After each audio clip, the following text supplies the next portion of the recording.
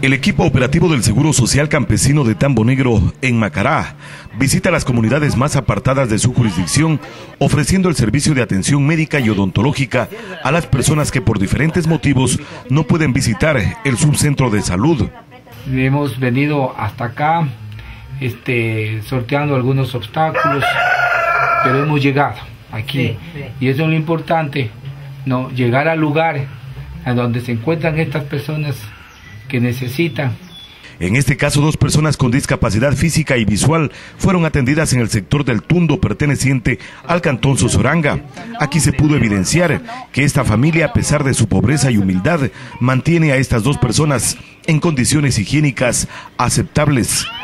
Aquí estamos agradecidos de su ayuda que nos vienen aquí a ayudar por nuestros hijitos y felicito a estas mismas personas, a esta misma gente, a esta familia por tener las fuerzas de salir adelante. En verdad me encuentro orgullosamente satisfecho. Otra comunidad visitada fue la de Guapalas, de igual manera perteneciente al cantón Sosoranga.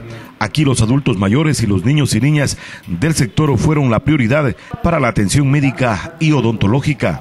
En verdad es una, una obra social muy importante debido a que como son lugares rurales, mi objetivo ha sido que los desparasiten a los niños, que los atiendan a un pueblo abandonado que se encuentra por acá.